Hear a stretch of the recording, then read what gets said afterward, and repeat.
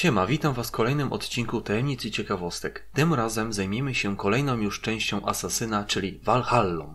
Dobra, zacznijmy może od początku. Pokażę Wam na mapie, gdzie znaleźć ową ciekawostkę.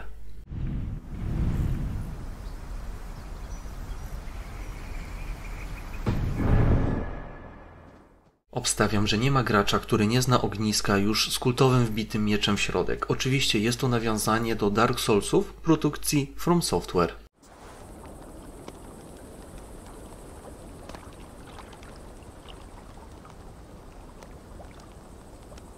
Powiem wam, że nawet otoczenie się ładnie zgrało.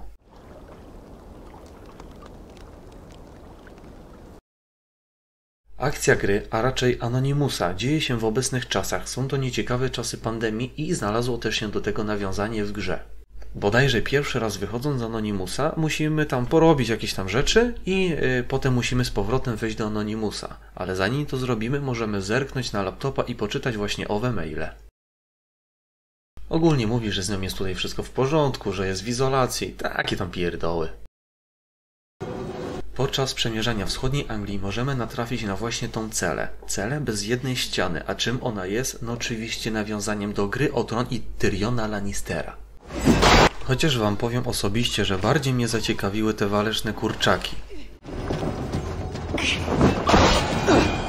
Dobra, ale wracając do naszej ciekawostki, mamy piękny widok tutaj przed sobą. Możemy tam oddać jeszcze skok wiary pięknie wprost do wody. Ale co jest lepsze, mamy za sobą skrzynię, która jest zabezpieczona drzwiami. Na klucz. Klucz znajduje się u góry. Tak nam ładnie twórcy ułatwili grę.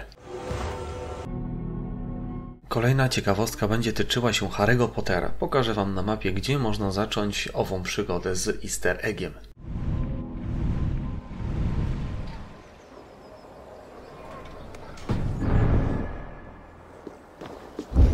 Zacznijmy najpierw od użycia mocy, która pozwala nam skanować otoczenie. Pokazuje ona nam klucz, gdzie będzie zaraz nam on potrzebny do tworzenia kolejnych drzwi.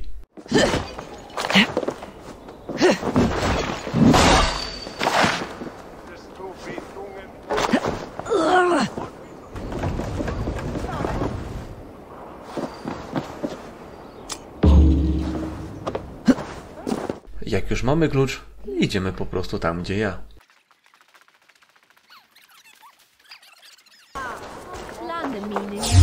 Natrafiamy tutaj na węża, co raczej dla nikogo nie będzie problemem. Zabijamy go, ale do niego powrócimy za chwilę.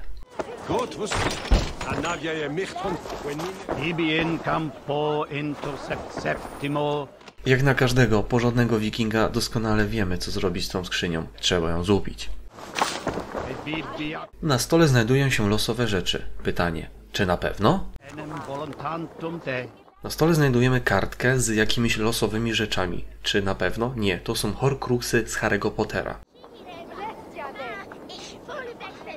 Niestety, więcej na ten temat nie mogę wam powiedzieć, ponieważ nie jestem fanem Harry'ego Pottera, a wąż, wspomniany wcześniej, znajduje się przed wejściem.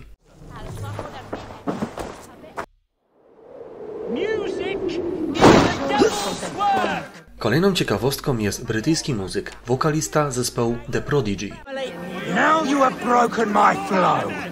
How can a man compose with you spewing in his ear? Sing Ale może najpierw zacznijmy od tego, że pokażę wam, gdzie go znaleźć.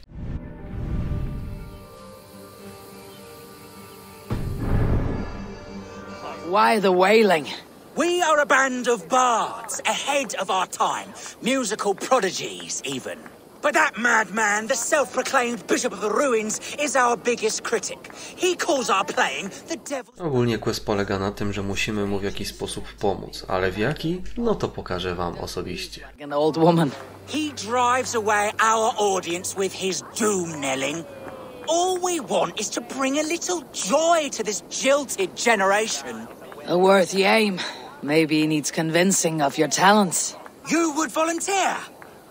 Ah, Ah, you are a lover of fine music. This is surely an omen. My ears are bleeding. Play on, play. Why not let the boy play music? He brings pleasure to the people. Music is the devil's wind breaking. Foul and rancid. I, as the Bishop of the Ruins, will not stand for it. Bishop of the Ruins. Is this title Alfred given? It is God given. He spoke to me as I stood one night pissing against the stones. I am his instrument to stamp out the devil's tune. Then you and I must disagree. Nie ma to jak wklepać chrześcijanom, prawda?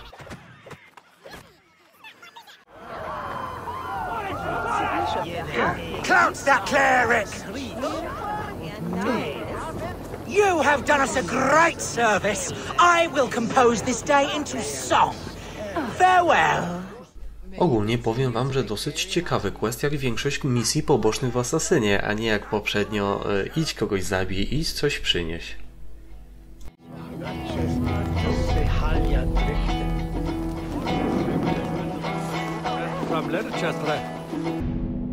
Pomału tuż chyba staje się standardem, że nasz polski Wiedźmin 3 musi się chociaż troszeczkę pojawić jako mały easter egg w najnowszej produkcji. Drzewo wisielców, wielkie i stare drzewo rosnące na wzgórzu w centralnej części w Belen. No, jak mi się wydaje, w Anglii też chyba rośnie.